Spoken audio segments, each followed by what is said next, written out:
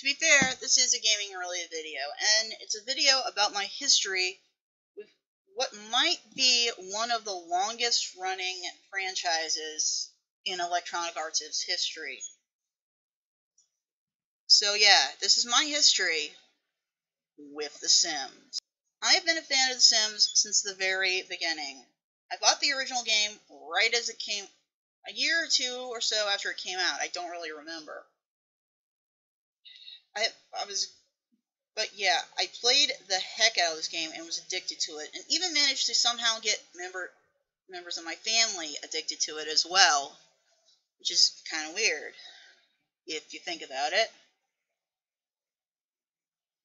I was addicted to this game. I wasn't aware of the the fan community, or I was one a very sadistic little kid though. I was one of the few people that did the infamous diving board trick and everything. So yeah, sorry to admit to that.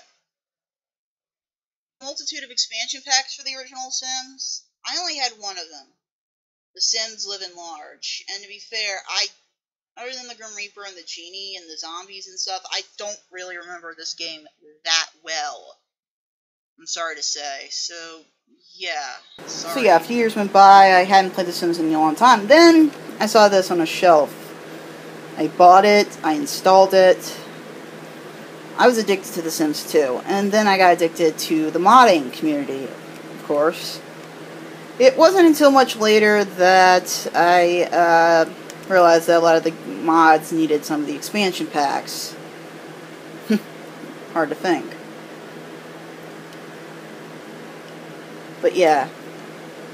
Okay, to be fair, I'm sorry about the glare. This might have been the first expansion pack for The Sims 2 I bought because I needed it for the cars.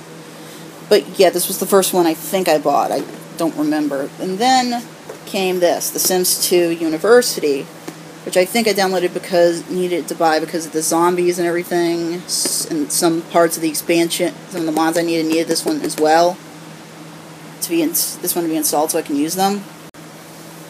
And then there was the final uh, of the expansion packs I I bought, which was The Sims 2 Open for Business. I had my cousin try to burn, give me like a pirated copy, but eventually I resorted to buying uh, this. Don't arrest my cousin. It, it was a long time ago. Okay.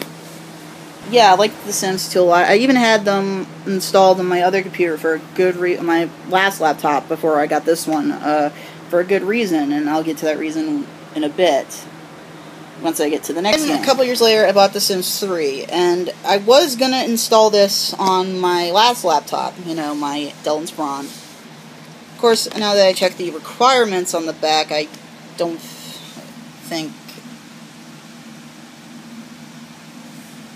I'm not sure. Can you guys see that? It's probably blurry to you guys, but yeah, according to the requirements that which I'm looking at at the moment, yeah, I don't think it would have worked on my last laptop. But yeah, I would have installed it, and I do, even though it's not in here, the disc ain't in here, but I do have it. I lost the CD key, so because of that, I ended up installing The Sims 2 on my other laptop. Probably where my history with The Sims would have ended. But I bought a new laptop, as you saw in the last video I've done, but and I got The Sims 3 again. You're wondering, wait, you lost the CD key, how is this on here? This is why. So sorry about that. I bought it on Sims and also on Steam and also got the one of the expansions. The Sims 3 Late Night. Oh yeah, one of my friends plays it. Don't pay attention to that. But yeah. So yeah, that's kind of my history of The Sims right there.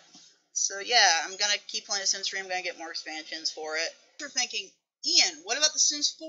Are you going to be getting The Sims 4?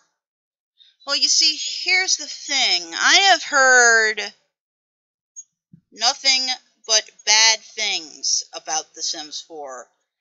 And I should note, I've only seen two reviews of it, but both of them, okay, one of them was slightly positive, but both of them were ne kind of negative.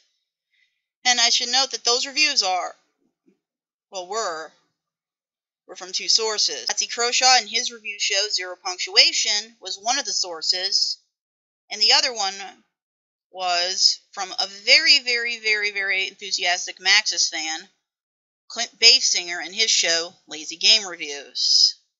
So yeah, even though his review did have some positive things in it, yeah, I don't think I'm going to be getting The Sims 4 like at all. I'm very sad to say. I'm just going to stick to Sims 3.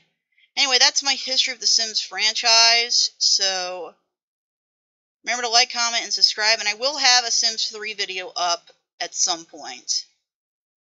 Later, crew.